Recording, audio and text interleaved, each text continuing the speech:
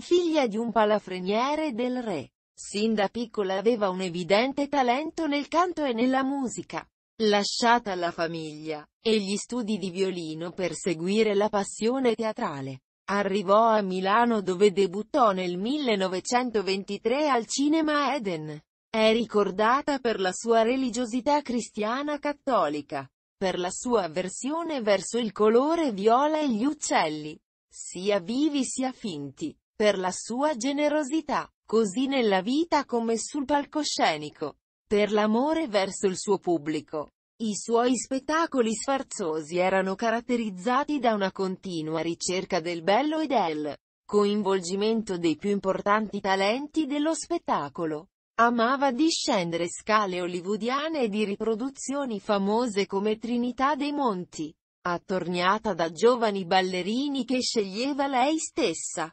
Per lei vennero coniati gli appellativi di Vandissima e di Divina.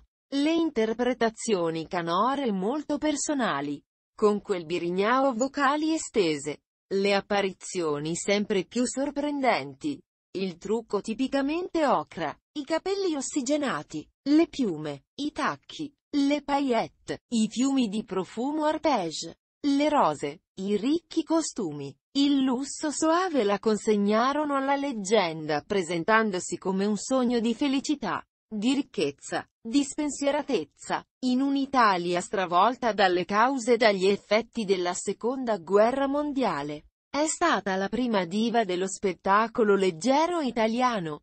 Involontariamente è divenuta la prima icona gay per un mondo che non poteva rappresentarsi socialmente se non tramite queste manifestazioni composte da un pubblico molto eterogeneo. Era un pubblico genuino e attivo che partecipava dalla platea con battute e considerazioni immediate su quanto avveniva sul palcoscenico. Durante il fascismo, in ottemperanza alle direttive emanate da Achille Starace per conto del governo, le fu imposto di italianizzare il nome d'arte, che divenne Vanda Osiri.